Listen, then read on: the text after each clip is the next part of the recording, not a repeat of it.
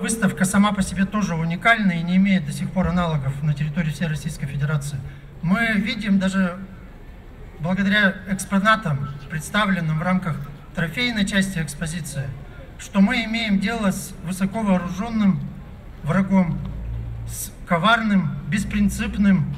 И то, что сегодня делают наши ребята на линии фронта, та поддержка, которая всемирно оказывается каждым из здесь присутствующих, а мы знаем, что нет такой семьи на территории нашего региона, у кого близкие, знакомые, родные не проходили бы сегодня службу и не выполняли поставленные задачи, а, просто уже невозможно сыскать.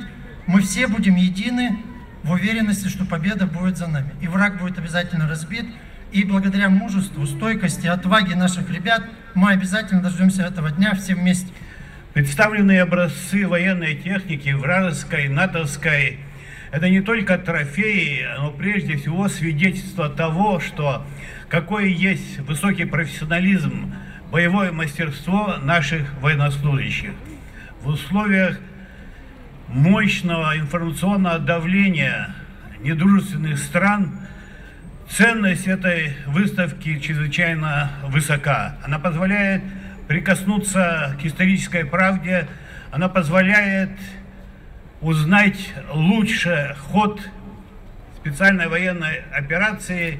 И, безусловно, это большое такое подспорье в плане укрепления патриотического духа, патриотического воспитания наших граждан.